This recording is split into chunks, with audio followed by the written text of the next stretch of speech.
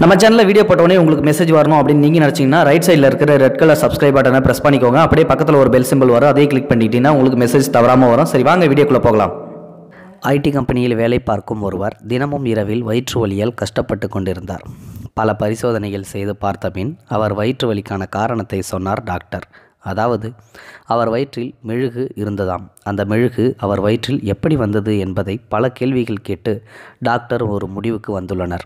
அதாவது நண்பர் தன் ஆஃபீஸில் கேன்டீனில் பயன்படுத்தும் பேப்பர் கப்களில் டீ குடிப்பது காப்பி குடிப்பது வழக்கம். அந்த கப்கள் மூலமாகத்தான் நண்பர் வயிற்றில் மெழுகு அதிகமாகி வயிற்று வலிக்கு காரணமாக இருந்தது என்று கூறியுள்ளார் டாக்டர். அவர் மேலும் தற்காலத்தில் பெரும்பையான் பெரும்பான்மையான அலுவலக கேன்டீன்களில் பேப்பர் கப்களை பயன்படுத்தி வருகின்றனர். மலிவான தரம் குறைந்த காகிதங்களால் செய்யப்படும் கப்கள் தண்ணீராலோ திரவத்தாலோ கரைந்துவிடக்கூடாது என்பதற்காக அதன் உட்புறங்களில் மெழுகு பூசப்படுகிறது.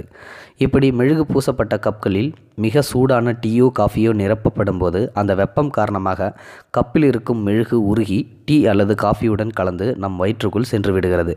அது நாளடைவில் வயிற்றில் பல உபாதைகளை தோற்றுவிக்கிறது.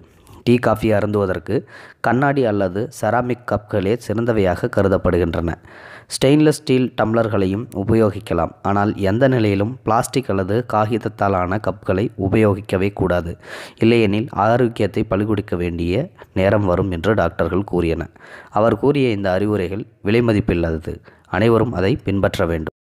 இது போன்ற செய்திகளை உடனுக்குடன் நீங்கள் தெரிந்து கொள்ள மறக்காமல் எங்களுடைய சேனலை சப்ஸ்கிரைப் செய்யவும் கூடவே பக்கத்தில் வரும் பெல் ஐக்கானையும் கிளிக் செய்யவும்.